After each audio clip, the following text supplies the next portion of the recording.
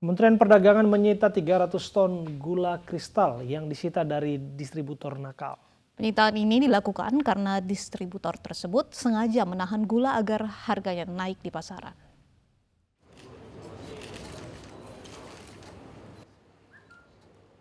Menteri Perdagangan Agus Suparmanto memberikan sumbangan berupa sembako dan alat pelindung diri kepada pemerintah Provinsi Jawa Timur.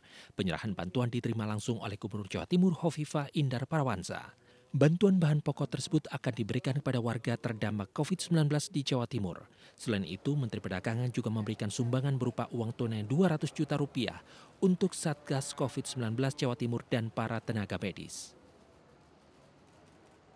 Ini bantuan ini sifatnya untuk uh, uh, artinya hal-hal yang sifatnya urgent atau prioritas dan juga bisa uh, memberikan motivasi semuanya bahwa kita ini dalam hal ini pemerintah juga pusat hadir dan mendukung juga untuk program-program uh, khususnya dari Ibu Gubernur.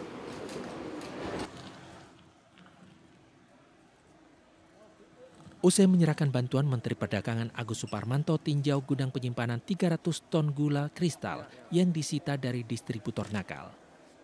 Penyitaan ini dilakukan karena distributor tersebut sengaja menahan gula agar harganya naik di pasaran.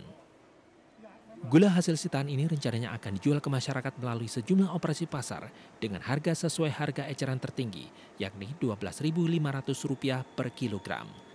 Tim Liputan iNews melaporkan.